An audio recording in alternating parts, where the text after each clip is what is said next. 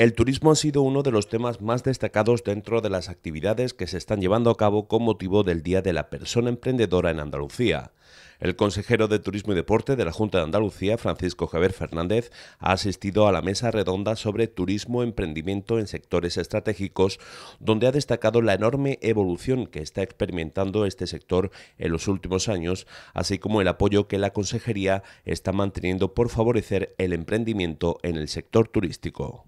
que la modernización, que la innovación, que el emprendimiento tenga una respuesta en el apoyo por parte de las administraciones. Y no siempre ese apoyo tiene que ir desde un apoyo desde el incentivo o desde el apoyo económico directo, sino un apoyo donde demos las condiciones desde la formación, las condiciones desde el asesoramiento, las condiciones necesarias para conocer el mercado en el que os movemos, en el que nos movemos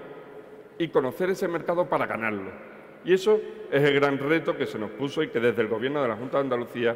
tenemos marcado. El consejero de Turismo y Deporte ha apuntado a Andalucía Lab y al Sistema de Análisis y Estadísticas del Turismo de Andalucía, SAETA, como los principales instrumentos para favorecer el emprendimiento en el sector turístico andaluz. Crear alianzas entre los mismos emprendedores para crear clubes de productos ha sido uno de los ejemplos que ha destacado Francisco Javier Fernández en su intervención. El emprendimiento no solo tiene que tener el concepto de que solo da un servicio o solo presta un servicio, sino que tiene que ser capaz de asumir cualquier tipo de cambio que se le va a dar en el, desarrollo de su propia vida.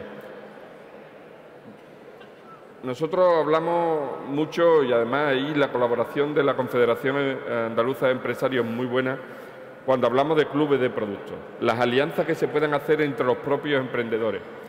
Para finalizar, el consejero de Turismo y Deporte ha afirmado que la crisis ha servido para precisar en el gasto por parte de las administraciones, así como para saber que la prioridad está en el turista y la empresa.